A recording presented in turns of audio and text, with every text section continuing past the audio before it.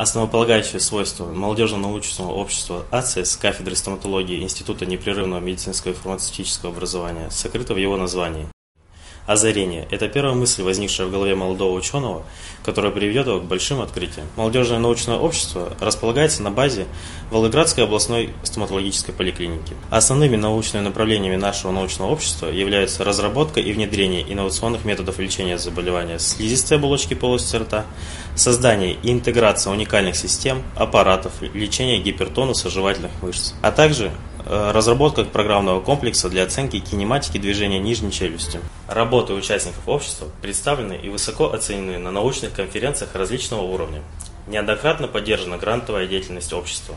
Активная работа участников многократно подтверждена зарегистрированными патентами, базами данных, свидетельства о регистрации интеллектуальной собственности. Мы не останавливаемся на достигнутом и продолжаем свою работу.